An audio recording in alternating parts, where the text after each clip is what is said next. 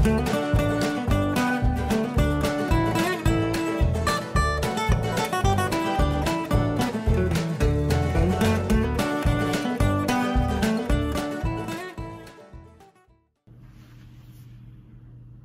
everybody, how are you today? Welcome back to WorldCom Edu Easy Story House series.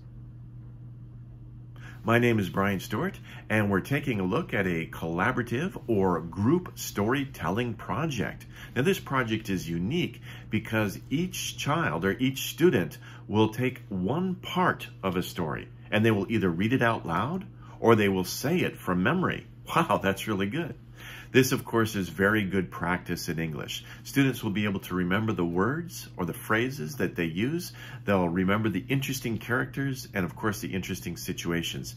And importantly, each story has a life lesson as well.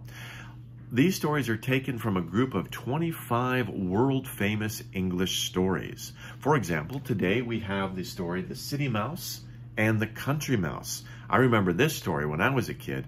And it's a story about, you know, what kind of lifestyle is better? Do you like living in the city or do you like living in the country? Are you a city mouse or are you a country mouse? Of course, no matter where you live or how you live, there are advantages and disadvantages to many different styles.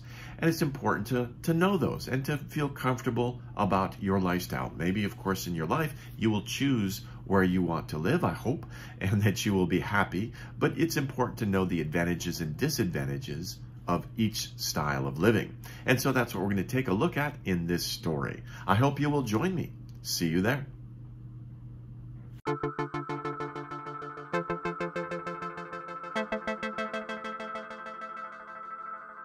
Page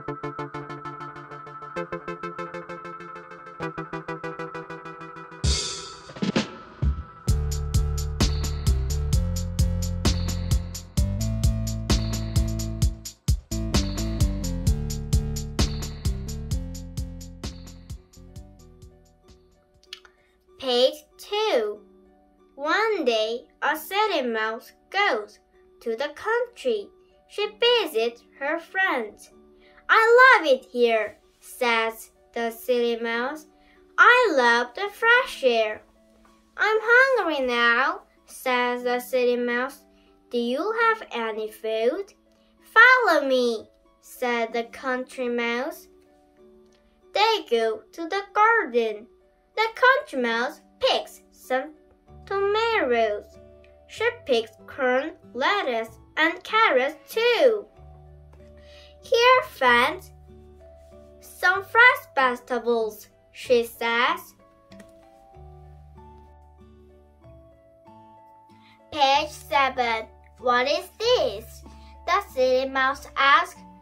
This is country food, says the country mouse. It's good for you. Follow me, says the city mouse. Let's go to the city. So they go to the city. Soon they come to a big house. The city mouse and country mouse go inside.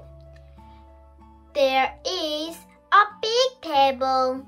It has all kinds of food.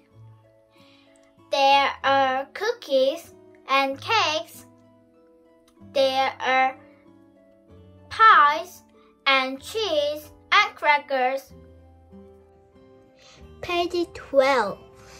The two mice eat happily. They eat and eat and eat until two dogs come. The dogs jump on the table. They do not want cookies and cakes.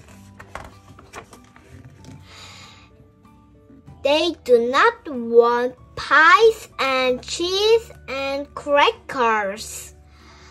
They want the two mice. The two mice run. They go inside a hole in the wall. The city mouse says, Wait here. The dogs will go away. Then we can eat again. But the country mouse says, Not me. I will go back to the country. I will eat vegetables in peace. Sometimes a safe meal is better than a dangerous one.